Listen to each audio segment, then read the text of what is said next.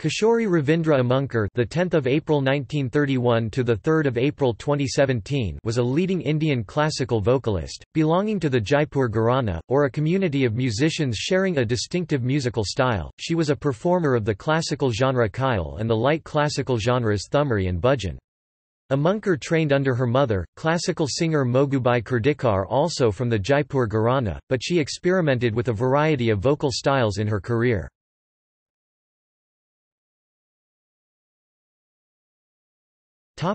Career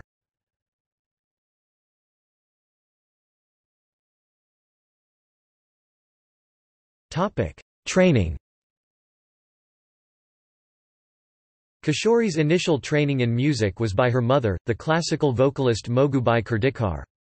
She has stated in an interview that her mother was an exacting teacher, initially teaching her by singing phrases and making Kishori repeat them.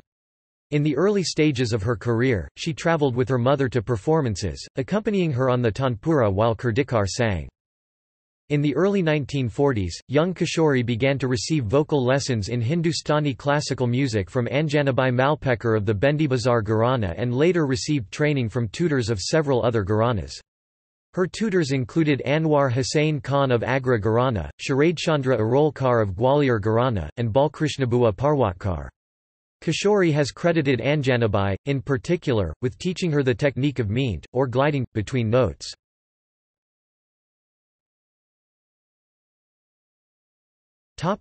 Technique and style Amonkar's later work in light music reformed her classical singing and she modified her Jaipur Gharana performance style by applying features from other Gharanas. She has been both praised and criticized for pushing the boundaries of the Jaipur tradition. She was a romanticist and her approach prioritized emotional expression over tradition, so she often departed from the Jaipur Gharana's rhythmic, melodic, and structural traditions. Amonkar has criticized the idea that schools, or gharanas, of music determine or constrain a singer's technique.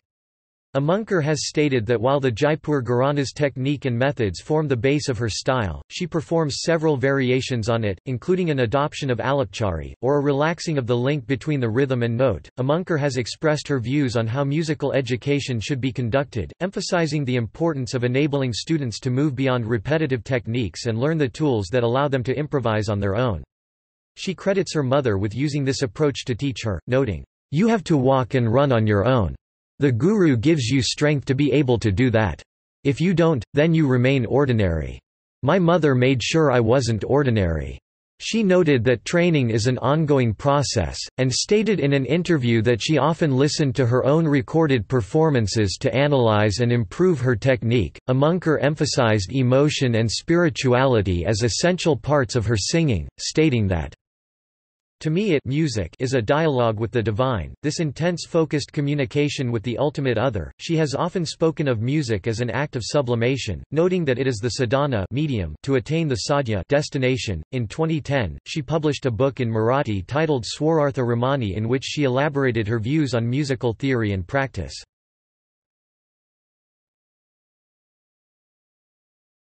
Topic: Classical vocalist Amonkar's career as a classical vocalist grew in the 1960s and 70s.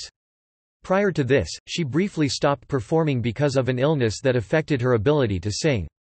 Amonkar has said that she used this hiatus in her career to consider and develop her own style of singing, that transcended classical schools of music. Amonkar has also spoken about the treatment of women performers as classical musicians, noting that the experience of watching her mother perform informed her own approach to professionalism and fair treatment, particularly when it comes to ensuring that musicians are paid well for their performances. On one notable occasion, she refused to perform because the audience was badly behaved, emphasizing the importance of respecting the performers during a concert. She created many compositions for a number of ragas. Amonkar was also a popular speaker and traveled throughout India. She was best known for lectures on the role of rasa, feelings or emotions in music.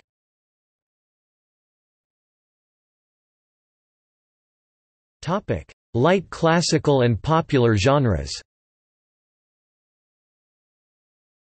In addition to her career as a classical vocalist, Amonkar was known for her performances of lighter classical pieces, with a wide repertoire of thumris and bhajans, as well as some performances for film soundtracks.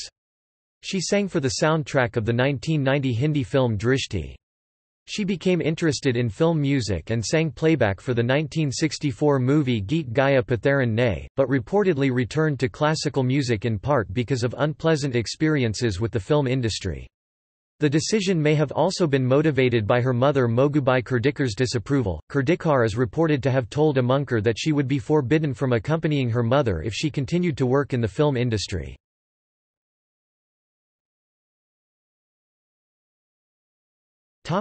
Personal life and death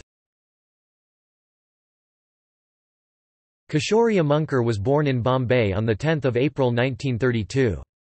Her father died when she was seven years old, leaving Amonkar and her two elder siblings to be raised primarily by their mother. The classical vocalist Mogubai Kurdikar Kishori was married to Ravindra Amonkar, a school teacher, who died in 1992. The couple had two sons, Bibas and Nihar, now both in their 60s. She was sometimes also described as temperamental Responding to these comments, Amonkar has stated that this reputation perhaps derives from her insistence that performers be treated respectfully, and to the fact that she chooses to spend time before her concerts in solitude and preparation instead of socializing with fellow musicians. Amonkar has stated, I never play to the gallery.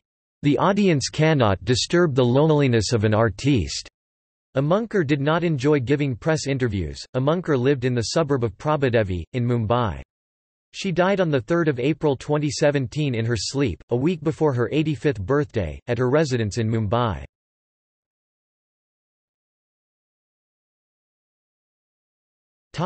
Recognition and legacy Amonkar received several of India's national awards and civilian honours, including the Padma Bhushan, in 1987, and Padma Vibhushan in 2002. She was awarded the Sangeet Natak Akademi Award for 1985 and the Sangeet Natak Akademi Fellowship for 2009. She was awarded the prestigious Dr. T. M. A. Pai Outstanding Konkani Award in 1991. In 2016, she was one of seven recipients of the M.S. Subbulakshmi Award for Classical Music. Amonkar was recognized by several of her contemporaries and fellow musicians for her skill and technique in classical music.